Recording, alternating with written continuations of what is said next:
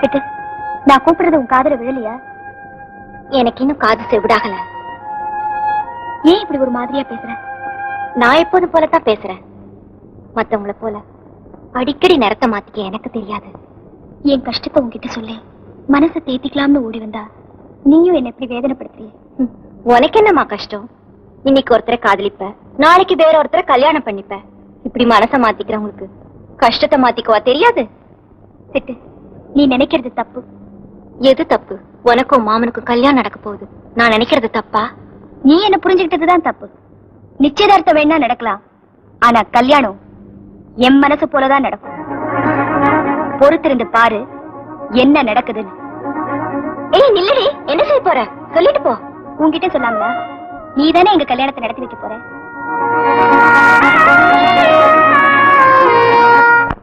அண்ணே வேல்சாமண்ணே வேல்சாமண்ணே என்னப்பா ஆளு சத்தத்தையே காணா? அண்ணே வேலண்ணே என்னடா எல்லாம் ஒண்ணா வந்துட்டீங்க? திருப்பி சீட் விளையாடுறதுக்கா அண்ணன் சொன்ன அப்புறம் கட்ட தொட்டு பாப்போமா என்ன? ஒண்ணு இல்ல. சும்மா இப்படி அண்ணனை பாத்துட்டு போலான்னு. சொல்லி தொலையண்டா. வேற என்ன? மிலிட்டரியில இருந்து எங்களுக்கு எங்களுக்கு என்னண்ணா வாங்கிட்டு அண்ணே என்னண்ணே வாங்கிட்டு சொல்லுங்கண்ணே. அடையாதுடா. அண்ணன் கொடுப்பாடுறா. அவசரமா கிளம்பி வந்துட்டேனா? அதால எதுவும் வாங்குறதுக்கு டைம் இல்ல. ஆ கொஞ்சம் இருங்க வந்துட்டேன்.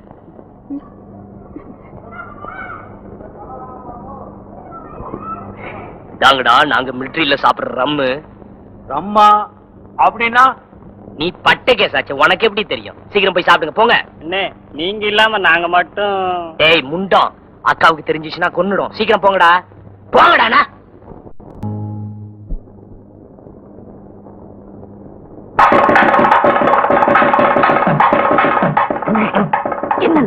மாதிரி உட்கார்ந்து இருக்க நீ தானே மாப்பிள உட்காரு சும்மாடா.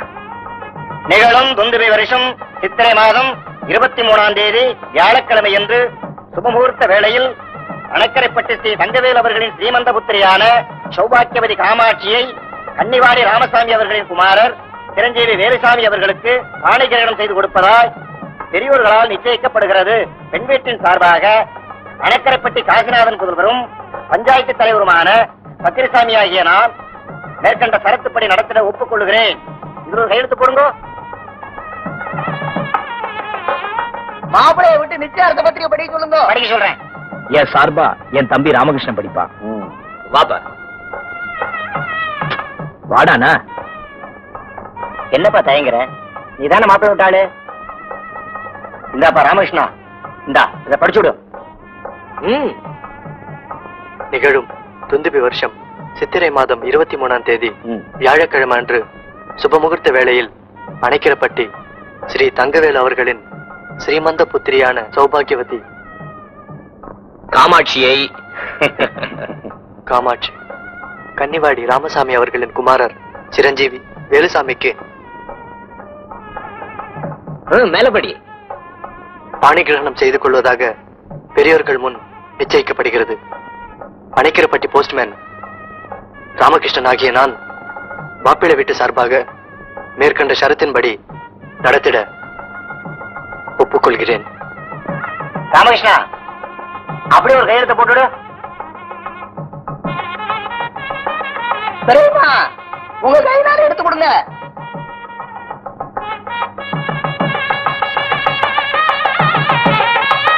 ராமகிருஷ்ணா நீ தானே இந்த புடவை கொடுக்கணும்? அதானே சம்பிரதாயம்? புடவை கொண்டு போய் பொண்ணு கிட்ட கொடுத்துருங்க.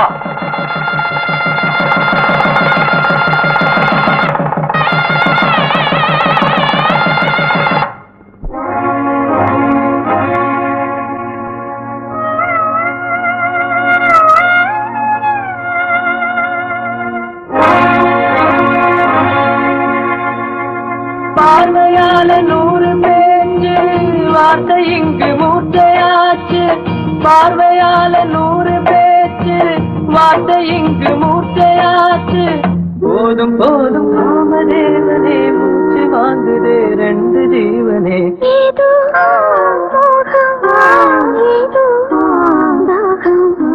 நேத்து வர எனக்கிலேயே ஆசை வர முளைக்கலையே.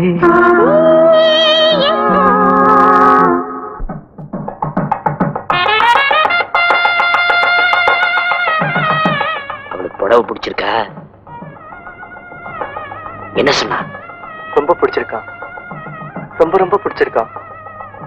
டேய் ரொம்ப நேரம் ஆச்சா? ஒரு தம் அடிச்சிட்டு வந்துடுறேன். கொஞ்சம் சமாளி. என்ன? என்ன வேலைச்சாமி அடட வாங்கம்மா. ஏன்பா எல்லாம் நல்லபடியா நடக்குதா? எல்லாம் நல்லபடியா நடக்குது. நான் நினைச்சதை சாதிச்சுட்டேன். அதோட நீ வந்திருக்க பாரு. அதுவே எனக்கு பெரிய வெற்றி தான் ஏன்பா இப்படி எல்லாம் பேசுற?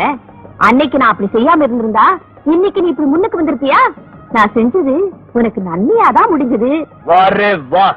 நீ பேசுறதுக்கு கேட்கணுமா? நீ நினைச்சது ஒண்ணு நடந்தது ஒண்ணு. என்னை எதிர்த்து ஜெயிச்சதா சரித்திரமே கிடையாது. ஏன்னா அது எங்க அப்பா ராசி. கேவலம் ஒரு பொட்டச்சுக்கிட்டையா தோப்பேன் தம்பி என்ன நீ தப்பா நினைக்கிற. உங்க அக்கா எனக்கு பழைய சிநேகிதி. அவளுக்கு நான் நன்மை நினைச்சேனே அது தப்பா? உன்னை நான் விரோதமா நினைச்சிருந்தா இப்ப இங்க வந்திருப்பேனா? அத கொஞ்சம் யோசிச்சு பாருப்பா. சரி சரி. உள்ளார போய் உட்காருங்க. பெரிய ஆளுப்பா. என்னடி இப்படி? தலையில பெரிய கல்லு தூக்கி போடுற?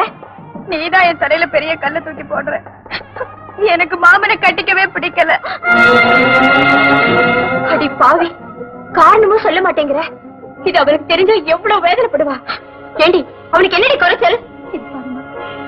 நான் அவரை கட்டிக்கணும்னு கனவுல கூட நினைச்சது இல்ல எனக்கு இப்ப கல்யாணமே வேண்டாம்மா. அவ ஊரையே கூட்டிட்டு வந்து நிச்சயம் பண்ண உட்கார்ந்துட்டு இருக்கா இப்ப போய் நான் என்னடி பேசுவேன்? அம்மா உனக்கு புண்ணியமா போ பேசாம அந்த புடவையை கட்டிட்டு போய் நமஸ்காரம் பண்ணிட்டு வா. அப்புறமா பேசலாம். என் மானத்தை காப்பாத்துறது இப்ப உன் கையில தான் இருக்கு. தயவு பண்ணிடுமா